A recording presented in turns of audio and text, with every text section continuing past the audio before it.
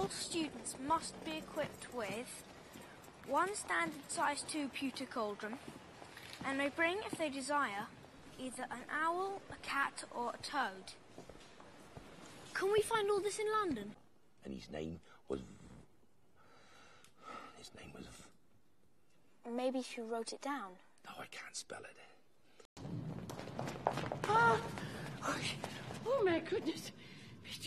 Explain yourselves, both of you. Well, what it is, it's my fault, Professor McGonagall.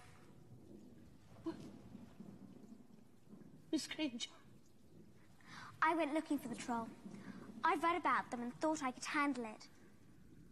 But I was wrong. If Harry and Ron hadn't come and found me, I'd probably be dead. Be that as it may, it was an extremely foolish thing to do. I would have expected more rational behaviour on your part, and I am very disappointed in you, Miss Granger.